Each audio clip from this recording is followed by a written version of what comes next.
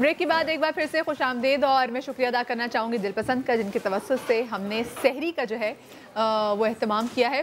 اور مجھے بھی پتہ چلا، میں نے لاہور والوں کو افطار کرا دی سحری کے ٹائم پر۔ تو آپ یہ دیکھیں کہ مجھے نا روزہ رکھنے سے پہلے روزہ لگنا شروع ہو گیا۔ کچھ میرے ساتھ ایسی چیزیں ہو رہی ہیں۔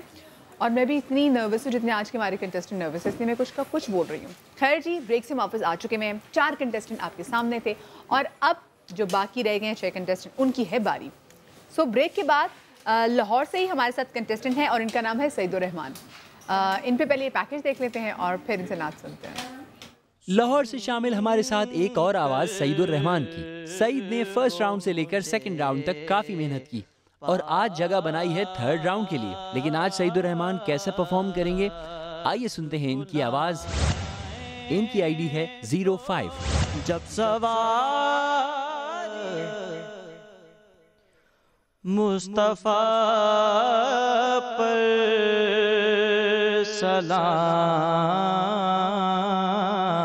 سلام ہے میرا ایسا با یہ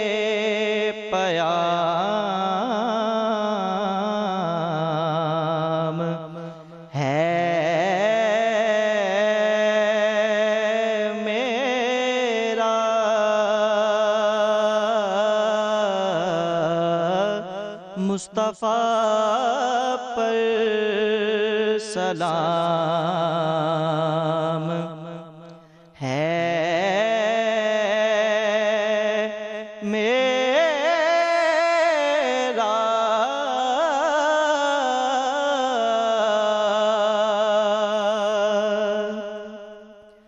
ہر نبی حشر میں پکارے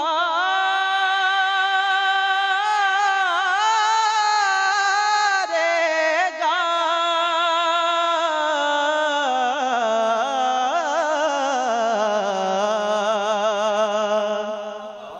ہر نبی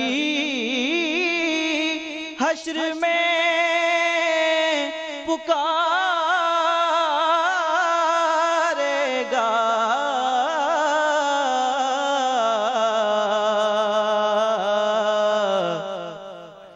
بس محمد امام ہے۔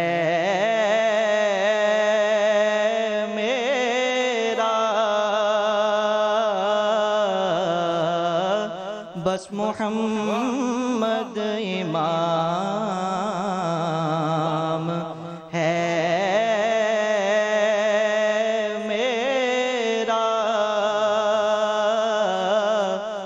مصطفیٰ پر سلام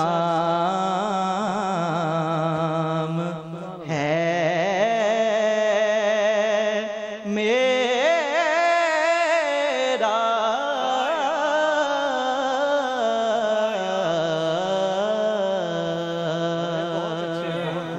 سبحان اللہ سبحان اللہ خوش رہیں۔ ماشاءاللہ ماشاءاللہ سعید بھائی۔ بہت پیارا فسی بھائی۔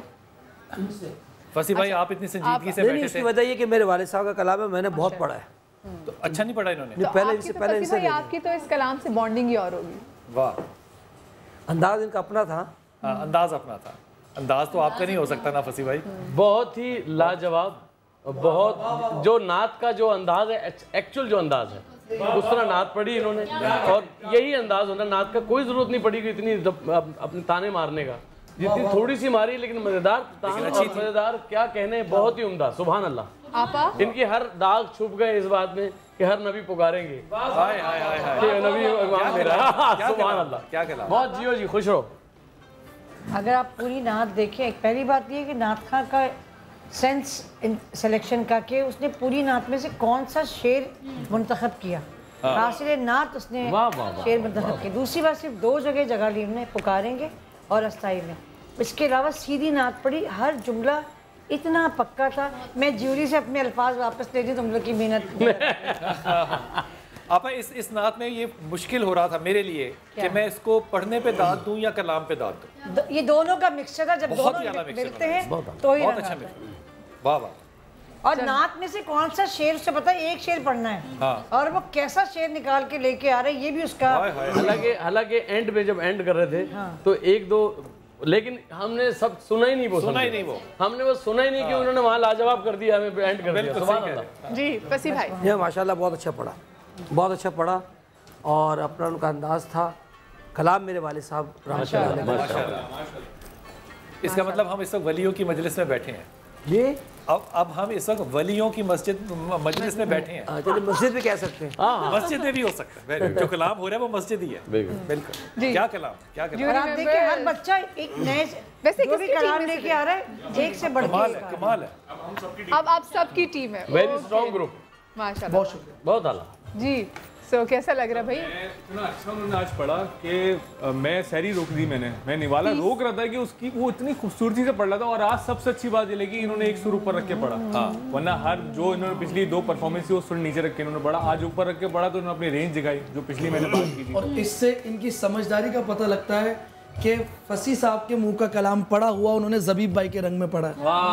یہ بہت بڑی بات ہے کہ بچے کا selection طرز ان کے لیے کلام۔ ان کا لیے یہ سمجھداری انہوں نے مطلب اپنی ورسٹائلٹی دکھائی ہے کہ میں کلام یہ والا ہے جو سنا ہوا ہے اور میں نے انداز کی اس بندے نے بڑی؟ فصیح بھائی کی طرح پڑھتا تو اس کے اوپر بہت سے رائے وہ صحیح بات ہے نا وہ پھر ہم اسی ایک- ایک quality چیز یہ سنا تھی- دیتا ہوں آپ کو۔ جی جی بسم اللہ۔ مصطفیٰ پر سلام ہے میرا۔ اے صبا، یہ پیام ہے میرا۔ نعرے دو زخی حرام ہو مجھ پر۔ نعرے دو زخی